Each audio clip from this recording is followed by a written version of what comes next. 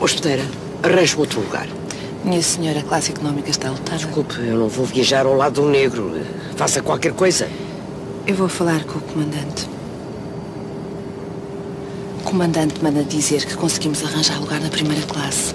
Ah, e pede imensas desculpas. Realmente é inconcebível um passageiro viajar ao lado de uma pessoa tão desprezível. O senhor acompanhe, por favor?